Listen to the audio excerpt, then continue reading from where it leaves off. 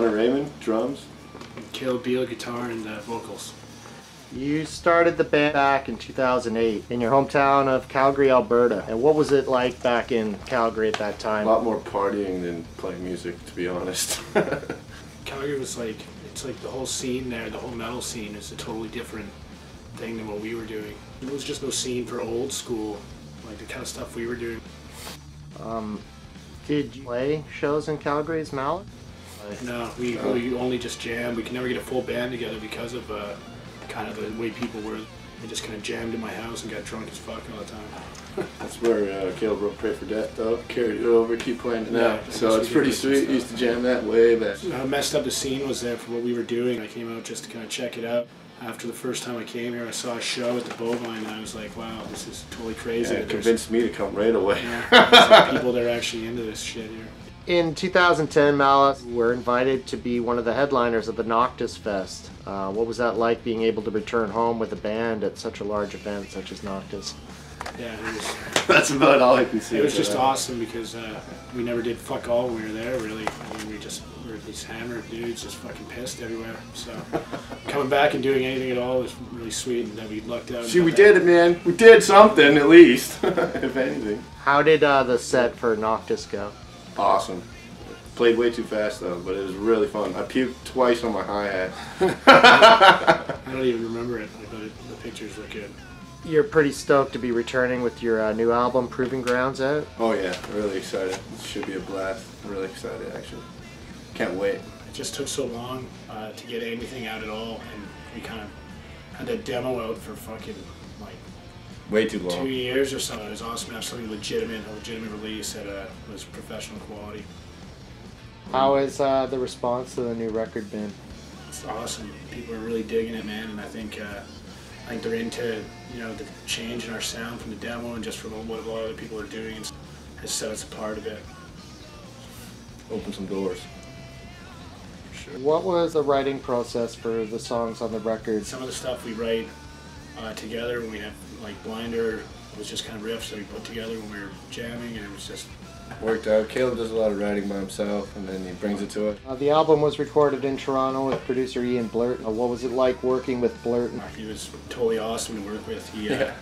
he supplied all the gear we were using as well, and had a uh, input on as to like what kind of effects we were using on things. Totally like whipping our ass. We were all terrified of him. We were releasing it uh, in Japan under uh, Spiritual Beast on May 14th, I think. Yeah, that's pretty cool. That's what we're over now. Accompanying the release of the new record for 2014, you uh, saw the departure of Jared Verlage, your bass player, on the record. The former Anvil bassist Glenn Five uh, played your CD release show in Toronto on April 5th. Craig Rose got in contact with uh, Glenn Five, did it as a favor. We were all really stoked he did it because that was amazing. It was a great show. What's it been like rehearsing with G5? Oh, that was fun. Let's just leave it at fun. you never really know what you're getting in, in like involved with, with new people and the guy's like a pro and he's been around for so long like you have no idea what his attitude towards things are and he totally like fit right in and was totally down to rage with us fucking hard he Yeah, he's a boy. was texting me this weekend telling me that he was uh, having withdrawals from Malice and wanted to know where we were fucking partying What early musical influences made you pick up um, a guitar or made you play drums? Punk music, like GBH, Subhumans, random shit like that. Then slowly evolved into like Wasp and Motley Crue and Motorhead and Judas Priest and just list go on from there, man. Yeah I used to actually play drums when I was uh, first started out in punk bands in Calgary and one of the bands I played in when I was probably around 13 or 14, I had this weird singer dude named Nigel, and he introduced me to Wasp. He showed me the song Love Machine. I can't remember how it came up, and I was totally blown away that music like that existed. What was your first guitar, your first drum kit? It was This dirty blue PV kit. It was like 500 bucks. Broke it in like two months. And now I still have the same greasy mate packs. I totally. I, I guess my first guitar was a Jackson KVX2, and it was fucking sweet. V. What were early visions uh, for the sound of Malice? I don't know. I think that was one of the things that we never really were Yeah. like trying to sound like something specific. I mean, we were listening to a lot of uh, Or I was listening to a lot of XYZ and Ratt and stuff like Doc and really greasy shit. but I mean, I wouldn't say we sound anything like that. I mean, if I wanted to say I wanted to sound like something, it'd be in a Wasp kind of sound, but I don't think we sound like them really. Yeah. So, well, what kind of music do you, are you guys listening to? Like, what's what's the last thing that you guys put on casually to listen to? I just listened to the album Lucifer's Friend, Lucifer's Friend, but no one knows that. But you check it out; it's awesome. Was listening to Billy Ocean. you know, like two of the new songs we're writing. One is about uh, trying to not drink. what the fuck was that? I feel like Homer.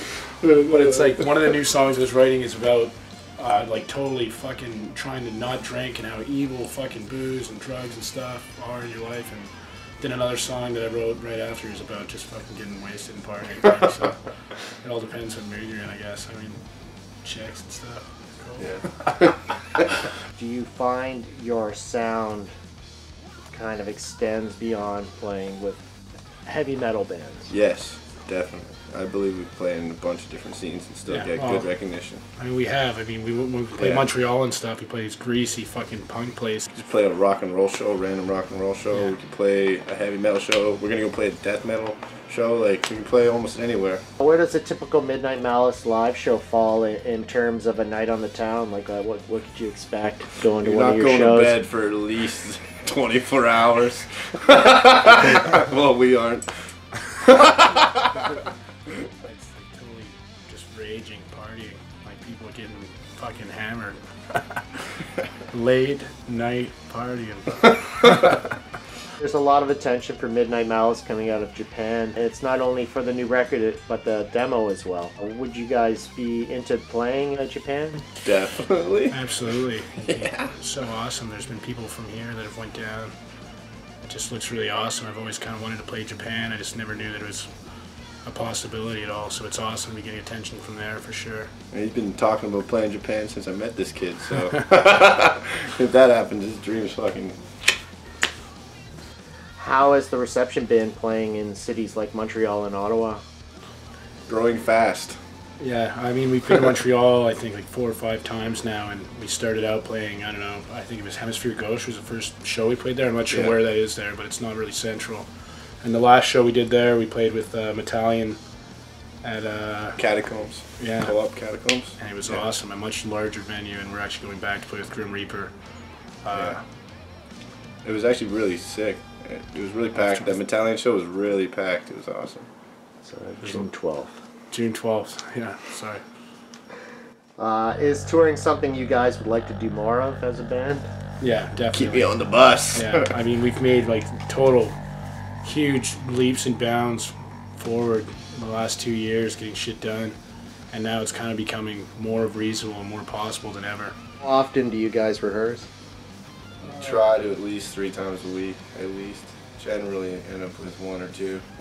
It depends. We get tighter closer to show. What do you guys uh, do in, in Toronto and Parkdale on nights off when there's no shows or no parties or anything like that?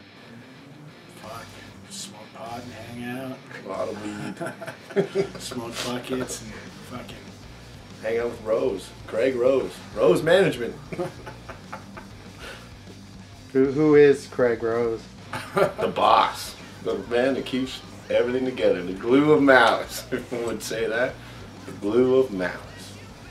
Craig kind of came in uh, a couple years ago, and it was he just kind of started helping us out of uh, his own goodwill.